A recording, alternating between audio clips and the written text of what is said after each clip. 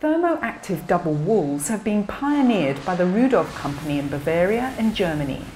These precast concrete sandwich walls ensure less heating and cooling systems are needed in all types of buildings. No matter if you have to cool or heat a building, you need to create a building hull which is thermally efficiently designed. Our system uses a so-called sandwich wall, which is a double wall that has on the inside of the exterior shell additional insulation. This means that the heat of the sun or from the outside does not come inside the building. But when it's cold, the heat is trapped inside and you need less energy to heat it.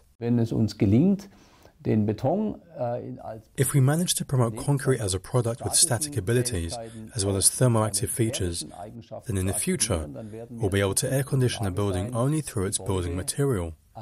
In other words, the building material itself will cool it in summer and heat it in winter.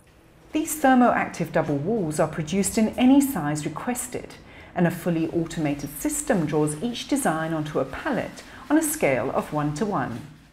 Additionally, the walls can be supported by air handling ceilings, which have heating cooling pipes close to the surface and are able to regulate climate with minimal temperature changes, generated through solar or geothermology.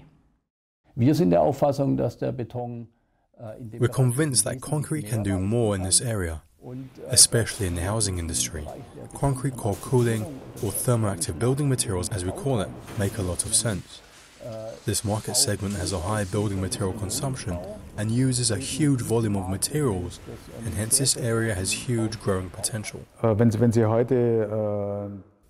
If you look at how a building is conventionally done, first you have to build the shell, and then you finish it with electrical appliances, heating and ventilation systems, sanitary installations, etc. And in the end, when everything is done and plastered, the painting and the flooring can be done. With our prefab elements, we have the big advantage in that we produce paint-ready walls.